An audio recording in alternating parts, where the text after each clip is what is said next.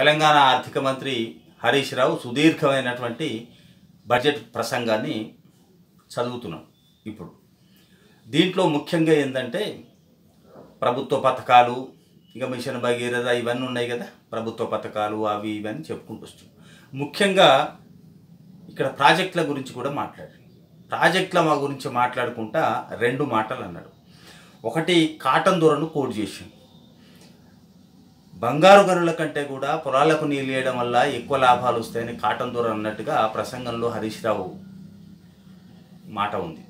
అయితే బహుశా ఈ ప్రసంగాలన్నీ ఆల్రెడీ రాత రాసినవి కాబట్టి రాసిన ప్రతులు చదువుతారు కాబట్టి ఈ ప్రసంగాన్ని రాసింది నూటికి నూరు పాళ్ళు బహుశా ఆర్థిక శాఖలో ఉన్నటువంటి ఆంధ్ర ఉద్యోగి ఉంటాడు ఎందుకంటే కాటన్ దొరకు కాటన్ దొర బ్రిటిష్ పాలిత ప్రాంతంలో ఆంధ్రాలో ప- సేవలు అందించిండు ఆయన అక్కడ పనిచేసిండు. కాటన్ దొరకు అక్కడ విగ్రహాలు కట్టిండ్రు. కానీ కాటన్ దొర ఎవరో తెలంగాణ ప్రజలకు తెలియదు తెలంగాణ ప్రజలకు తెలిసింది ఇక్కడ నిజాం. ఇక్కడ అభివృద్ధి జరిగింది అభివృద్ధి చేసింది ఆనాడు నిజాం.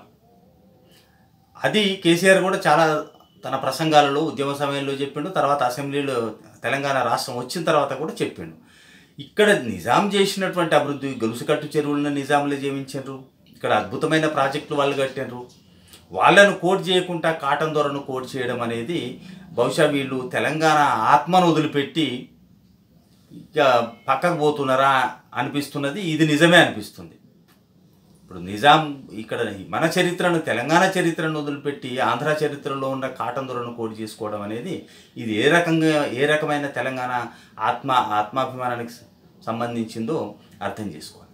రెండో విషయం బాధాకరమైన విషయం ఏమిటంటే ప్రాజెక్టుల గురించి మాట్లాడుకుంటా ముఖ్యంగా నల్గొండ జిల్లా ప్రాజెక్టుల గురించి ఫ్లోరిన్ పారదోలనమని మిషన్ భగీరథ సక్సెస్ అయిందని మొత్తం ఠామ్ ఠామ్ చేసుకుంటున్నారు. ఎప్పుడు కేసీఆర్ ఇతర టీఆర్ఎస్ నాయకులు చెప్పుకున్నట్టుగా కానీ డిండి ప్రాజెక్టు పూర్తి అవుతుంది ఇంతకుముందు నేను కూర్చి చేసుకొని రెండు సంవత్సరాల్లో సంవత్సరాల్లో పూర్తి చేస్తా అన్నది ఆరు సంవత్సరాల తర్వాత ఇంతవరకు ఏం లేదు. ఇంకా దాన్ని పూర్తి చేయబోతున్నావు అని చెప్పిండు.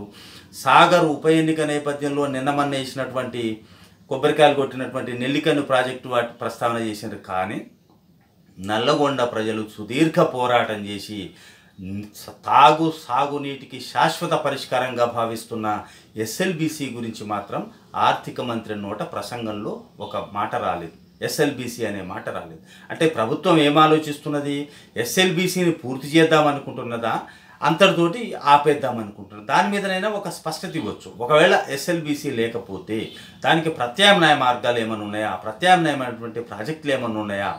ఎందుకంటే ఇదే ఎస్ఎల్బిసిని అడ్డం పెట్టి గత పాలకులను తెలుగుదేశం ప్రభుత్వంలో ఉన్నటువంటి పాలకులను ఇక్కడ మంత్రులను కాంగ్రెస్లో పనిచేసినటువంటి కాంగ్రెస్ ప్రభుత్వాల్లో పనిచేసినటువంటి ఈ ప్రాంత మంత్రులను అమ్మ బూతులు తిట్టారు. సన్నాసులు దద్దమ్మలు మీరు ఎస్ఎల్బీసీ ఇంతవరకు చేయలేదు మేము కూర్చుంటే రెండేళ్ళల్లో అయిపోతుంది మూడేళ్ళల్లో చేస్తాం ఖతం చేస్తామని పెద్ద పెద్ద మాటలు మాట్లాడండి కేసీఆర్.